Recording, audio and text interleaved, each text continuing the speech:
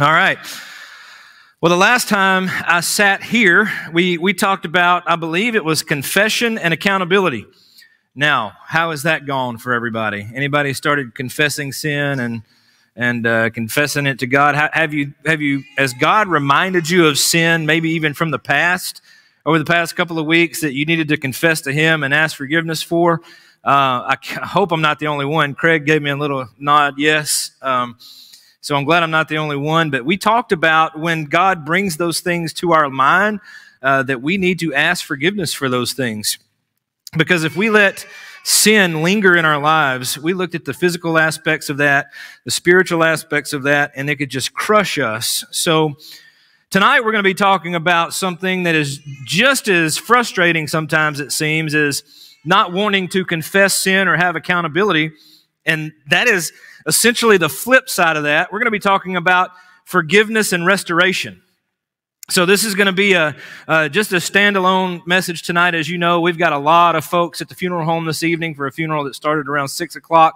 So it's just going to be us here tonight, and then next week we're going to get into learning how to pray the Psalms, learning how to uh, look at the Psalms, pray through those, and and let that be a part of our everyday life.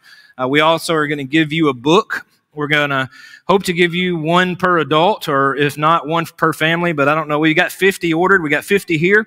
So we're going to give you a book. It's only like 90 something pages. Really quick read. It's a pretty good read. It'll help transform your prayer life. And that is the elders' hopes here is that our, our prayer life would be transformed as well. But tonight, just briefly, I want to talk about forgiveness and restoration.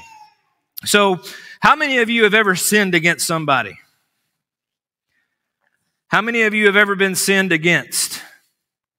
Now, let me ask you this question.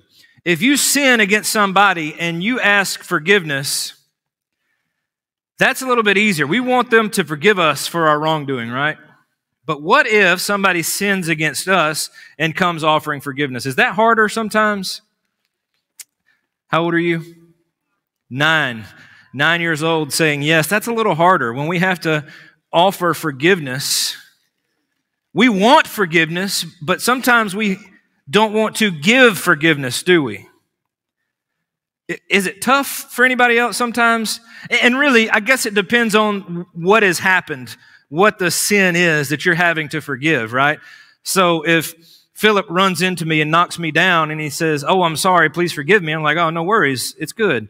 But if he walks up and uh, punches me in the throat, goes outside and slashes my tires, and then tells me I'm a worthless piece of garbage, I'm, I don't know if I'm going to forgive him as quickly, am I? And that's just not, that's kind of my extreme kid rated example, right? I just don't want to go any further than that, but it's a little more extreme than him just accidentally bumping into me and say, oh, forgive me. I didn't watch where I was going. It depends, I think. Does it, is it just me sometimes? If the sin is small, okay, I forgive you. But what about when that sin is great? What about when that sin is big? What do we think? Is it a little harder to extend forgiveness then? It's according to if they ask if somebody asks to forgive them, sometimes I think, think it's easier than if they don't and you're just trying to just forgive. Say that again. You said if, if someone asks forgiveness, even if it's something that really hurt you, a lot of times it's easier to forgive than if they don't ask. Okay. Well, that, that's a great, leads a great question. If somebody sins against you, should we wait till they ask us to forgive them? No, but, but I, I think that she is right on the money here. If they don't ask forgiveness, it's easier to harbor that, isn't it? And, and if we harbor that, what they've done to us, it's easy to turn into bitterness. And it's easy to turn into bitterness and anger and frustration and, and ultimately, what happens in that situation is you then become one who is in sin if we're not careful. Because that bitterness could cause you to lash out, that bitterness could cause you to do other things. But when it comes to forgiveness, should there be a length of time before we say, Yes, you're forgiven? Now, that's a hard question. I see some people thinking, I see some people saying no. So if somebody says, Ryan, will you forgive me for A, B, and C? Is there a length of time for you to say, you know what? Thank you for asking. I will one day. Or if I see true repentance in your life, then I will forgive you. Or should that forgiveness be immediately? Forgive immediately? Anybody else?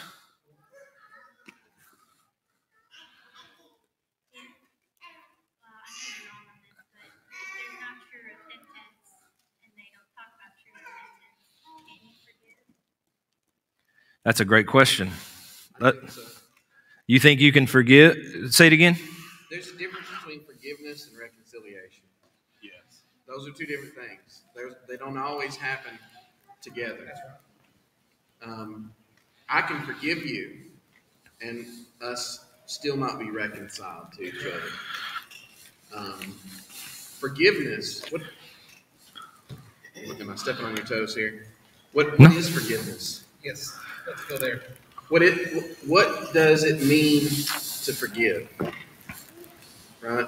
Forgiveness forgiveness is not requiring payment for that debt, for that sin debt. It's not seeking revenge, repayment, justice, understanding Right? Sometimes we say, I want them to understand how they made me feel.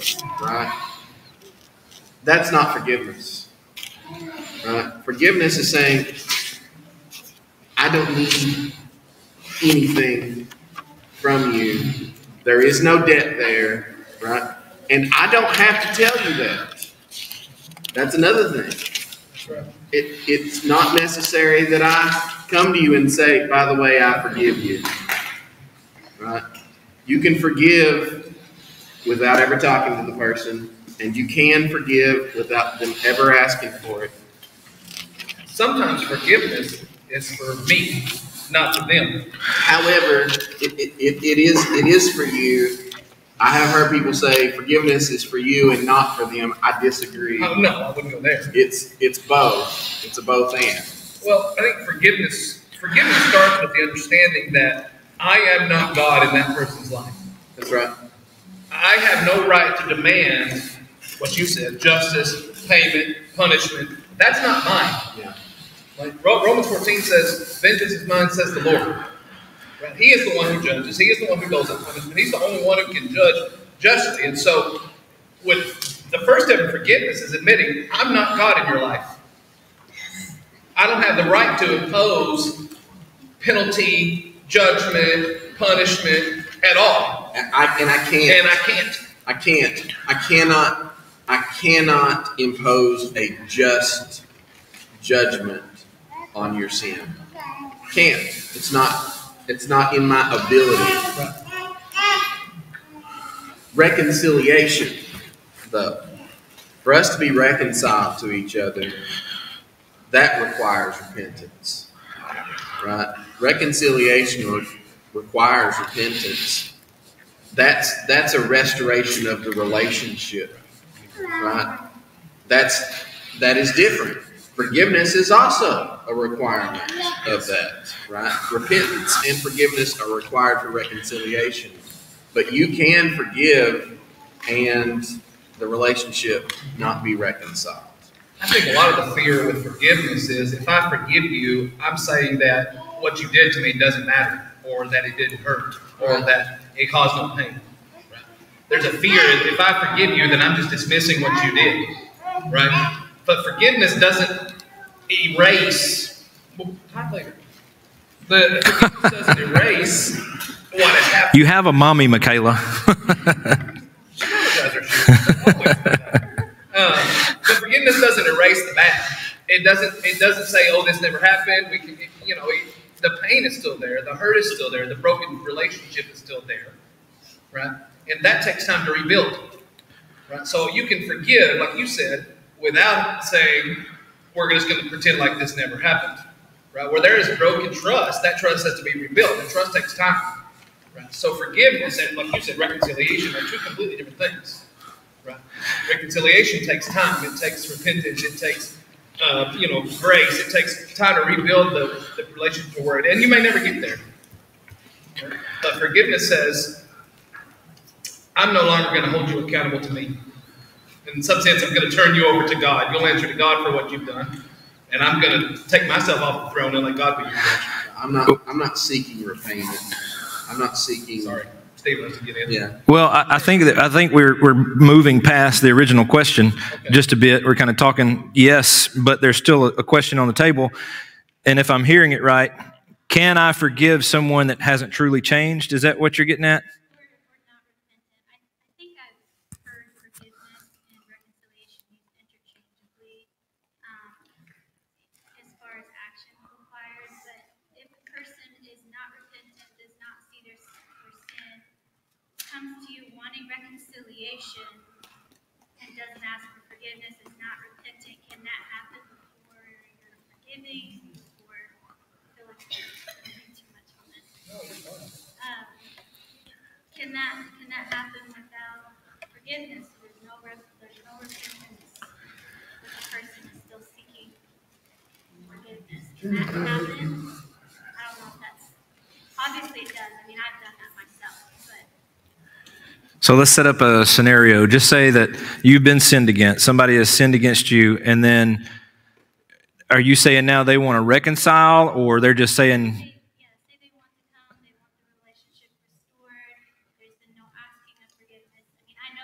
so you're asking, can you still forgive without them asking for forgiveness? Yeah.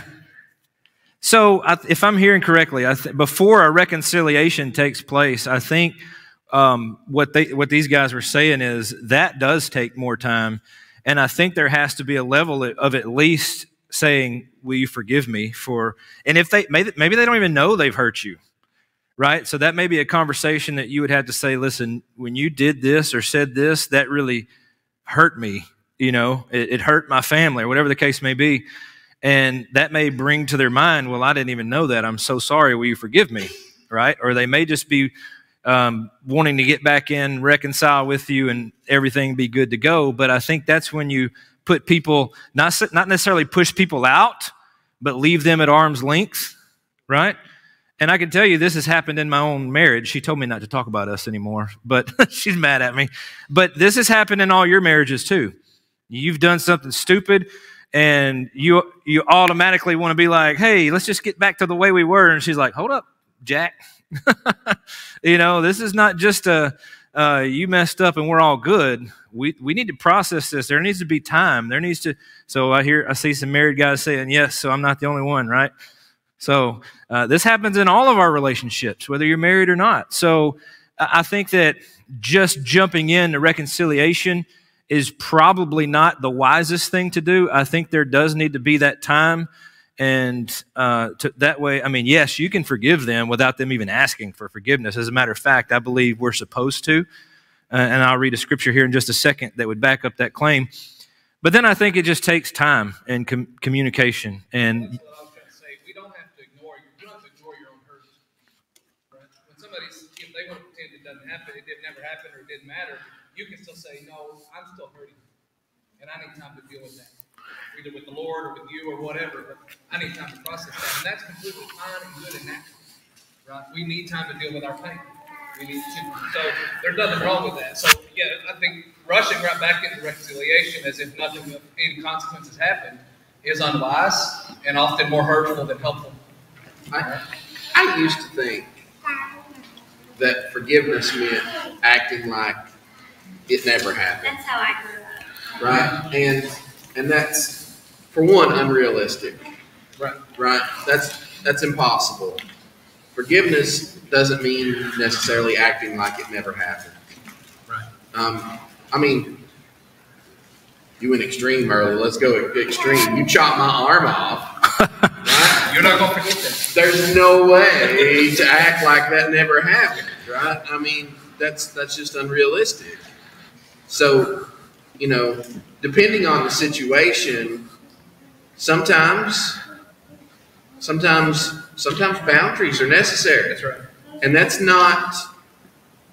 We, we mistake that for for punishment, right? And that is something that we need to ask ourselves: Am I behaving towards this this this person like this as a form of punishment for what they've done to me, right?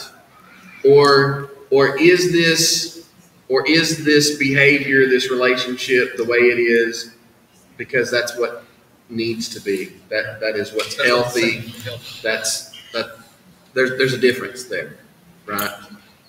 And if someone's unrepentant in their sin, if someone's unrepentant in their be- toward in their be, pattern of behavior towards you, then I think you are completely and absolutely justified in setting some boundaries, That's right? And saying, "I'm sorry, I forgive you, but until you're willing to change, we, we can't be this way, whatever whatever that is, right? I, I think that for me, I, I learned what resentment was, being resentful. Um, so whenever someone hurts me, like, and like using your cutting your arm off reference, like they've cut my arm. I no longer have an arm. This is an event that happened one day. So now I'm re-mad at them for the next six years. Yeah. You know what I mean? Like I'm harboring hate. So like I can choose to forgive them in the beginning, uh, or I can choose to forgive them in six years. It's just the level of discomfort I want to be in during that period of time because the, the offense has already happened to me. Um, and with forgiveness, I don't have to be their friend again. I don't have to reconcile with them. I just have to release that negative feeling I have towards them.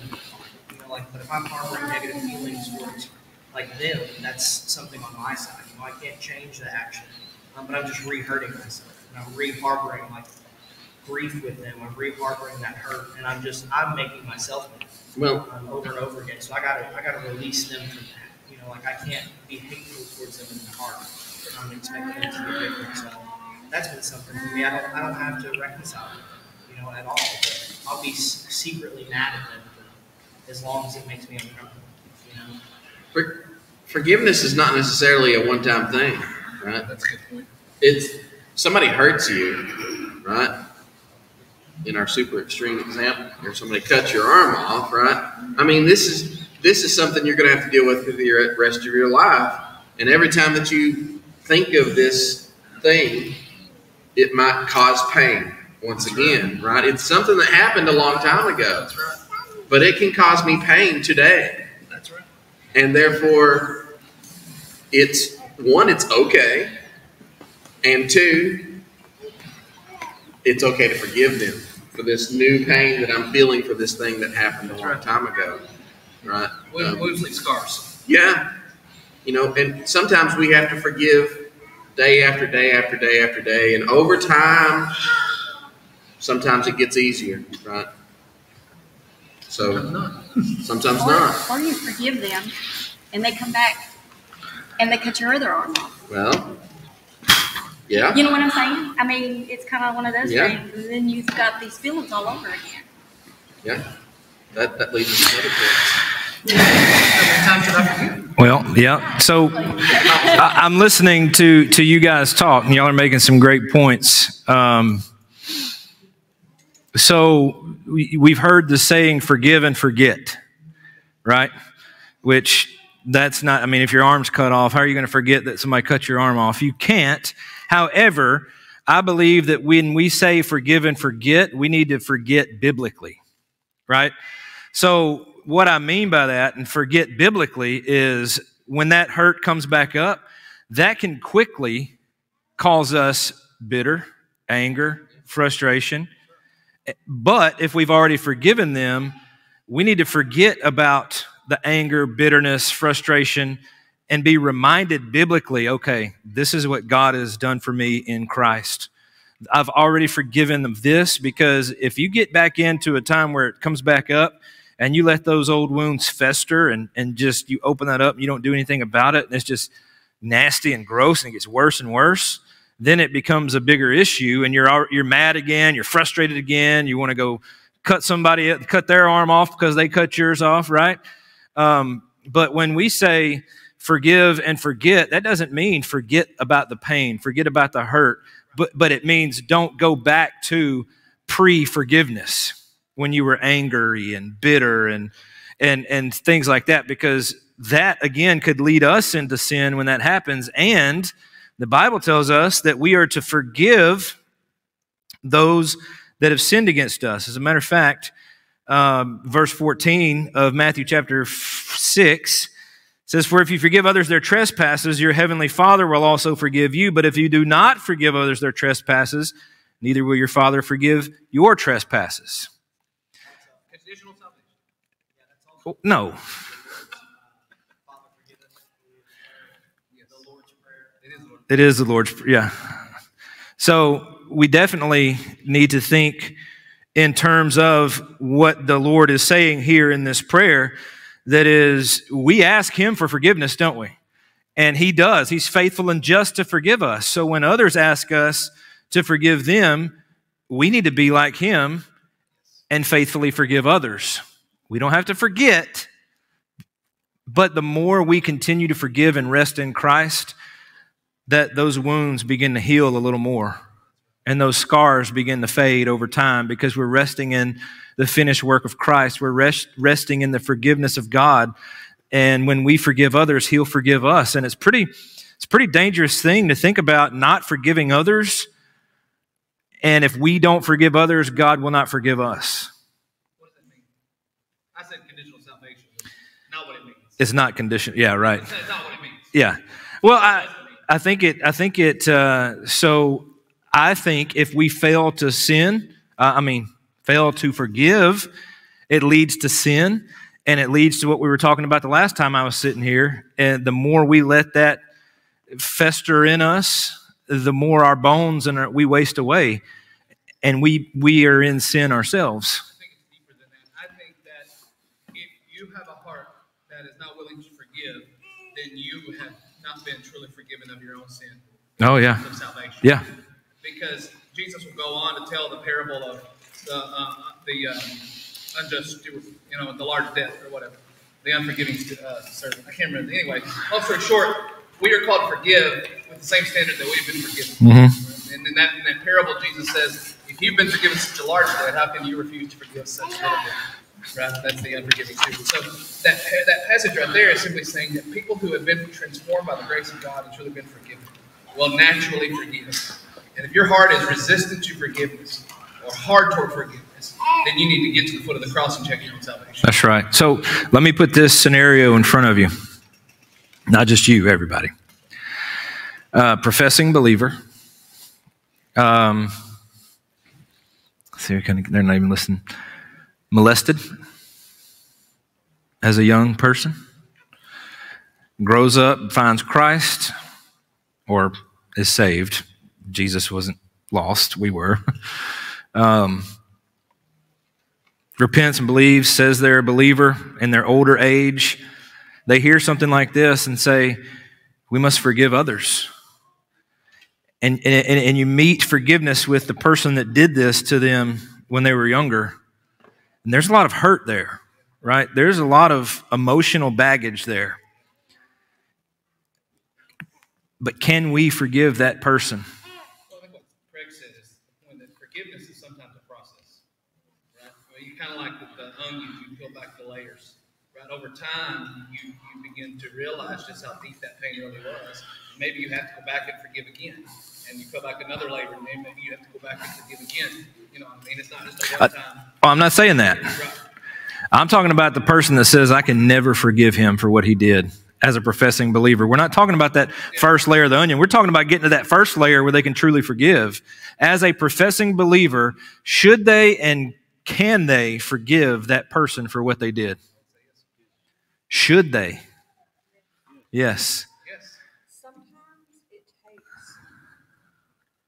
praying and asking, asking That's right. God to help me to forgive them. I'm glad you said that because forgiveness is not in and of ourselves. There is nothing in us that would ever want to forgive somebody that hurts us. Nothing natural about it. Matter of fact, we're, we're kind of Old Testament. We want to be eye for an eye. You hurt me, I'm coming right back at you. Right? You going to cut my arm off? I'm cutting off two of yours. You- you- What's that movie, Monty Python? Whatever. I've never seen it, but I mean, I've seen part of it, but not one of my favorites. I know y'all can save the tomatoes for later. Anyway, but you know, that's what our natural flesh, our natural reaction is. You mess with me, I'm messing with you. but it's only by the power of God, the power of the Holy Spirit, that allows us to forgive others, whether it's a small sin or something greater, like being molested as a child. The, the Spirit within us can cause us to forgive. And, if I may, the Spirit in us should cause us to read texts like, For if you forgive others their trespasses, your heavenly Father will forgive you. But if you do not forgive others, their trespasses, neither will your Father forgive your trespasses. That should be a warning for us. It's a heavy passage, and it is not one that I think that we should be prideful about and say, well, you don't know what he did. And we, we may not know what he did or she did, right? But we are not forgiving them and saying, like Philip said, I give you a pass. It's okay that you did that. That is not what forgiveness is. Forgiveness is not that. So, what would we say forgiveness is? And you said it not, you don't owe me anything. I'm wiping the slate clean. You're forgiven. Uh, I don't want vengeance. I'm not seeking vengeance because God has forgiven me in Christ. I'm going to extend the same forgiveness to you. Uh, you can push them on out of the way and say, We will not be reconciled until God does that too. But as for me, you are forgiven. That's right. Yep. And a lot of times we find somebody that sins against us. Every one of us has said we've sinned against somebody, and we've all been changed by the glory of God, by the grace of God. So he can change both parties, right?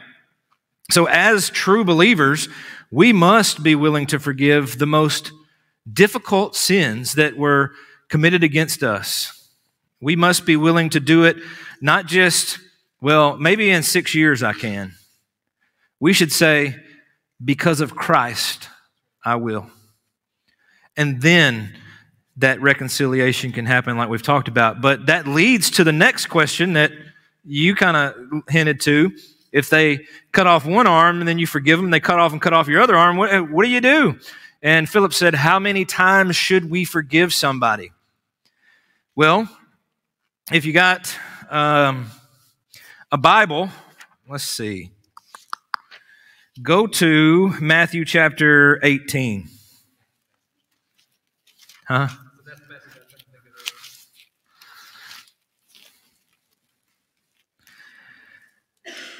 And I, don't want to. I don't want to read the whole parable here, but I do want to, to hone in on this one thing that will help us get some clarity on how many times we should forgive someone that sins against us. In verse 21, it says, Then Peter came up and said to him, Lord, how often will my brother sin against me and I forgive him? As many as seven times? And then Jesus said to him, I do not say to you seven times, but seventy seven times. You've heard 70 times seven, right? So some of you math folks are like, 490 times? Is that the limit? Is that 70 times seven? Okay. 490. Quick math. 490 times, that's the limit. But here's the problem with that. If you start thinking in terms of, well, they're at 489, the Bible also says this love keeps no record of wrongs. So, what's happening here in Judaism, three times was sufficient. I can, I can forgive Philip three times in Judaism. After that, no more. So, Peter here is like, seven. What about seven, Lord? I'm, look at me, seven times? He said, Nope. So when Jesus says 70 times seven, what he's ultimately saying is number one, don't even keep count. But number two, there is no number. Anytime somebody sins against you, you forgive them. So then we start thinking about, well, my goodness, that, I mean, before long, I'm not going to have nothing but a torso and a head left, you know? And, uh, but. D- Before we have to go back to the point that forgiveness is not saying that what you did didn't hurt or didn't matter. And that's where right. boundaries come to the conversation. That's what I was going to say. You know, do we put ourselves back in that same situation? Right. Did you know that it's repentance and there's reconciliation Maybe. Well at that moment you think there is. You know what I'm saying? Oh, yeah. And then somewhere down the line, you know, I'm you know, I'm going to use my sister as an example because that's what I'm talking about, you know, and because all of our lives there's been something that's happened and it's it's it's like ongoing, you know, and you know, do we, you know, is it okay? I guess what I'm asking is it okay to not put ourselves in that situation? Yes. Yes. I mean, I could, I mean, done it several times, you know, and and tried, but then it's just like it's like she's a different person, you know. Yeah. And but anyway, um, so I just make sure that I'm It's, it's okay not to, thinking that. and it's okay too. Okay. I mean, how many times have I sinned against Jesus Oh yeah. For the same sin. For the same sin? Yeah. Yeah. Yeah, absolutely. Yes. Many times. Yes. Right? And and I'm forgiven every time. Yes. And so But that doesn't mean that your sin doesn't have consequences. It- that's right. That's yeah. Jesus will Exactly. for, Jesus will forgive your if you're a repeat offender. Grace is for repeat offenders, and Jesus will continue to give you repeat offenses to glory. If you're you know, but your sin has consequences. Right. It may have consequences in your life. It may have consequences in the lives of those that you love, your family, your friends, your work, whatever it may be. But sin has consequences. It's guaranteed to have consequences in your life, but it Right. may have bigger consequences. So just because you've been forgiving of something doesn't mean that the consequences magically go away. that's right. And that's the same thing with our interpersonal relationships. Yes, I can. We can forgive to the others. That doesn't mean that the relational consequences go away. So if there are healthy boundaries, if there's a safe distance that needs to be cultivated in that relationship, or even if the relationship needs to come to an end, that's okay. One thing to consider is even if you've already forgiven them, if you go to reconcile, if you're going to bring that sin back. Or you're going to think about that sin again. That sin now going to be part of you? If so, you do it. Yeah, So you might not need to reconcile, you might not need to be around them. The best thing for you might be to avoid that person, to avoid that relationship, until you are fully ready to reconcile, or until they are ready to truly be done with that sin. Right? And you're truly ready ready to reconcile you. I mean, I think as Christians, we are called to leave the pathways of reconciliation open. Right? We're not called to just shut the gate forever and say, you know, never ever again. But there's there caution is if there's caution that's warranted, then that's okay too. But we are called to keep the pathway of reconciliation open. If someone comes genuinely seeking reconciliation, we can walk down that road with them. But that doesn't mean we just jump in with both feet. You know, it's okay to take your time and rebuild the relationship, rebuild the trust. Is that fair? Mm-hmm. There's a passage of scripture too that I'd like for us to look at. Psalm chapter 103, if you got your Bibles. I think this is this is encouraging for the sinner, which is all of us. Uh, we just mentioned that there are consequences for sin, but I want to show how we should not presume upon the grace of God, although we likely have many times, and we've likely been scorned and and uh, chastened for our sin. But I want to show you how great and awesome our God is. Psalm chapter 103, starting in verse 8, says, The Lord is merciful and gracious, slow to anger, and abounding in steadfast love. He will not always chide, nor will he keep his anger forever. He does not deal with us according to our sins, nor repay us according to our iniquities. Just those three passages of Scripture for the sinner should have us standing in awe of who God is. Especially when we read, He does not deal with us according to our sin, nor repay us according to our iniquities. He could do, thank God, anything He wanted to do. He could discipline us in any way, yet He is patient, gracious, slow to anger, abounding in steadfast love. So if we think about a God who is like that with us, that should motivate us even more to extend forgiveness to others. Um, yeah, chastise. Yeah. Yeah, that's what I think of like a whip, getting after you with a whip. Or in my house, getting around with that belt. Um, but I think a lot of us have this idea that God is I mentioned this a few weeks ago in the sermon that God is like a God with a magnifying glass, holding it right in direct line with the sun, trying to burn us up. But that is not who God is. Yes, God is going to give us consequences for our sin, but man, just these three verses uh, should drive us to worship. We talk about theology leading to doxology. This should drive us to sing how great you are, God. How great on Christ the solid rock I stand. All other ground is sinking sand because our God is gracious and merciful, and we should be that very way with other people. And again, we've talked about the boundaries. That is acceptable. That is something that we need to do. Uh, but I want to look at a, a st- first. I want to look at the time. Okay, I got a little bit. I want to look at a, a story that we're all likely familiar with, and I want to kind of look at the end of it. So if you got your Bible still open, go to Genesis chapter 50.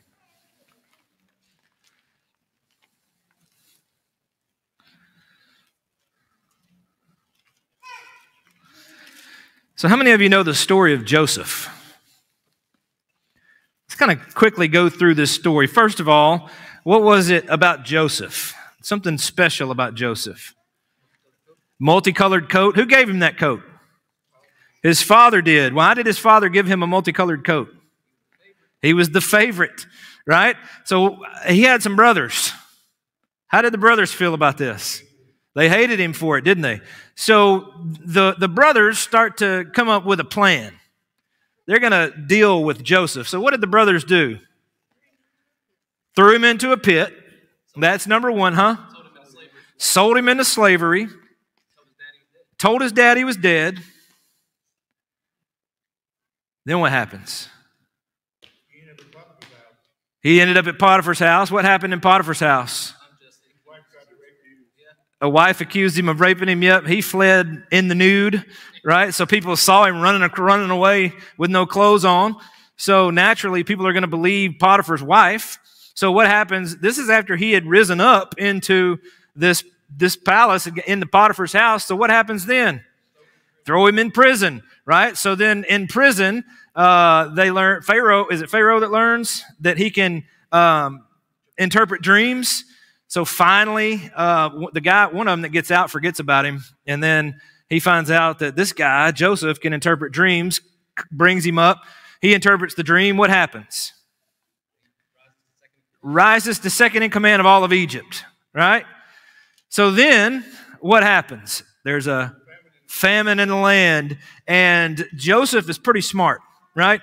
So he said, there, we, we need to be very, huh?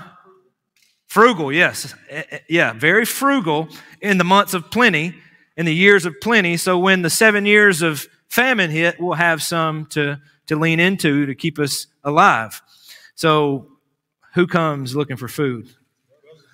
His brothers, the same ones that told their dad he was dead, the same ones that threw him in the pit, threw, sold him into slavery. And when they come to Egypt to ask, they have to talk to who? Their brother, Joseph. Now, do they recognize Joseph? No. Why? Because he's an Egyptian by now. He is completely conformed to the culture, wearing the makeup, the things. He looks just like an Egyptian, walking like one too, however that is. Um, but he looks like an Egyptian, talks like an Egyptian, acts like an Egyptian. And then uh, his brothers come up, they don't recognize him. And then through a series of things that Joseph does, they ultimately come back and they recognize him right? So if we're thinking about the story in, our, in terms of our own flesh, if we were Joseph, I would dare say 99.9999% of you in here would say, when they were bowed in front of me, I would smash every one of them in the teeth. Yes, you would. And the other 0.00001% of you would be lying. I'm just kidding. Maybe you wouldn't, really, but I would be like, mm, Now's my chance. They're bowing in front of me. I'm second in command of this place. They're begging for food. But that's not what Joseph does, is it? They find out who he is. It, the Bible says that, that he lays across their neck and they weep and they are, are reconciled. But if we look at Genesis chapter 15, starting in verse 15, what did I say? Genesis chapter 50, verse 15. Okay, did I say it completely backwards? Oh, 50, 15, sorry. So uh, now their dad is dead. Verse 15 says, When Joseph's brothers saw that their father was dead, they said, It may be that Joseph will hate us and pay us back for all the evil that we did to him. So they sent a message to Joseph saying, Your father gave this command before he died. Say to Joseph, Please forgive the transgression of your brothers and their sin because they did evil to you. And now please forgive the transgression of the servants of the God of your father. Joseph wept when they spoke to him. His brothers also came and fell down before him and said, Behold, we are your servants. But Joseph said to them, Do not fear, for am I in the place of God? As for you, you meant evil against me, but God meant it for good, to bring it about that many people should be kept alive as they are today. So do not fear, I will provide for you and your little ones. Thus he comforted them and spoke kindly to them. Huh? Am I in the place of God? Am I in the place of God? What does that mean, Philip? Well, he says, it's not my right to, to hold this over you, to hold you accountable, to dole out the punishment you deserve. That's not my place. Right. That belongs to God and God alone. Exactly. Vengeance is mine, says the Lord. Right? So we have these this family that was broken by sin after sin after sin after sin after sin. And and through a series, and I think this goes back to what we ultimately began talking about with the question, is Joseph didn't just immediately accept them back, did he?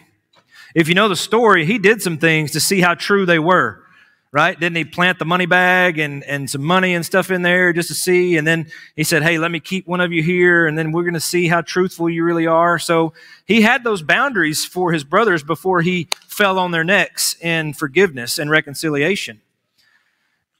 And I believe, had not these brothers proved themselves to be truly repentant and truly seeking forgiveness, we likely wouldn't have seen the reconciliation.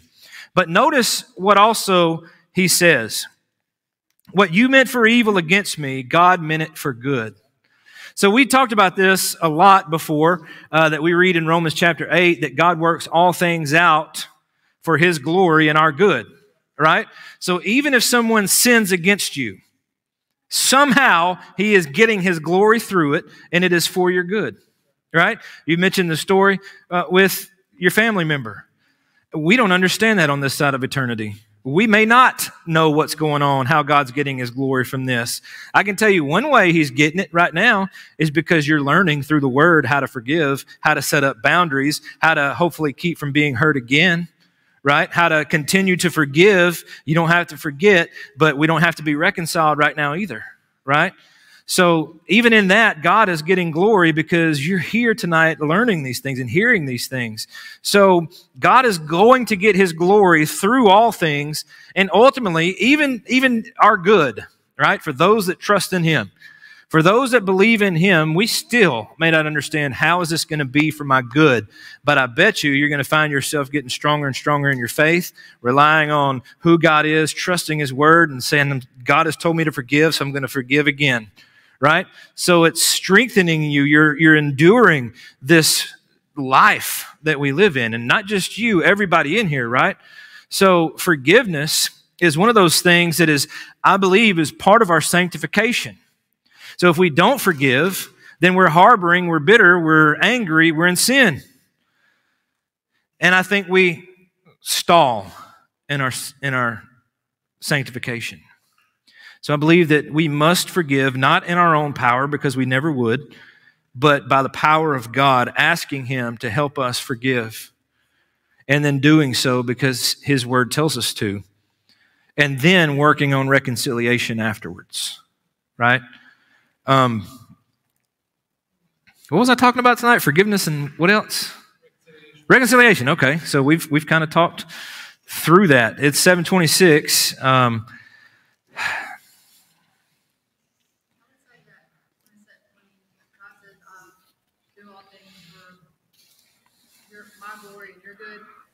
good is our sanctification. It is growing closer to God, and it's not anything else really. Like He does give us good things in life. Um, we're blessed with things like that, but our good and His glory is sanctification. Otherwise, the glory part's not there. So you make a great point. Um, me and her have been talking for days about this very thing, but I think that we have, as Americans especially, we have this flawed view of what our good is, right? We think it's good for us, good things for us, that something good will come of this, that it's going to be some grand thing. And re- in reality, it is a grand thing, right? Sanctification is grand. But everything that we do in life is not even about us, right? So if we forgive or if we do something expecting to get from God, then I think we're forgiving for the wrong reason. And that sanctification is our good, that becoming like Christ. I've been, some of you may have seen this if you stuck around to read it all. It was pretty long. I put a Facebook post up yesterday. I'm reading this book right now. I can't put it down. It's called The Exemplary Husband. And in that, it, it shows a picture of really who we as humans are, that we seek everything selfishly, that we're selfish individuals. Like even in our marriages, we think that our spouse has to meet this need, this need, and this need, and this need, or they have to do this, this, this, say this, love me, respect me. And we think that's what we expect from our marriages and our relationships. But in reality, we should be expecting and desiring God, His Word, Christ, sanctification, those things. Those things of God is what we should be pursuing and desiring more than anything. And then the rest, when it comes to our relationships, fall into place. So the same could be said about um, forgiveness and reconciliation. If we're truly seeking the Lord, in all things, if we're truly seek, because we could be really selfish, couldn't we? The next time you're, and I don't want to say who your family member is just because of this, but you're, if you're, next time your family member comes to you and offer, asks you, asks, asks you for forgiveness, you do it for the glory of God, right? You're not doing it to appease her or him. You're not doing to make yourself feel better right? You're doing it because God and His Word has declared for us to do so, and you want to be obedient to Him, and the Holy Spirit's going to give you that power to do it and to work in you to, as we've mentioned, be able to reconcile one day, whether it be tomorrow or 10 years from now, right?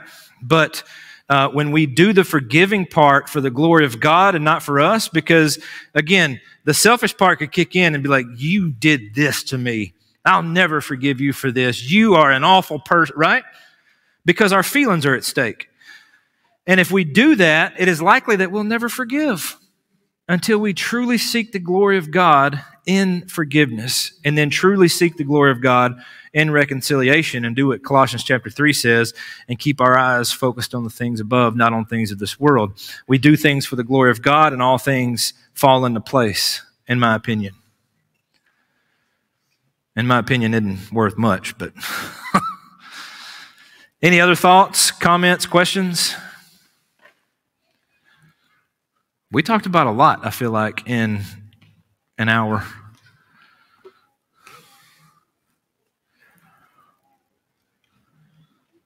All right. Well, Ryan, do you mind closing us in a word of prayer? Father, For another opportunity you've allowed us to come together.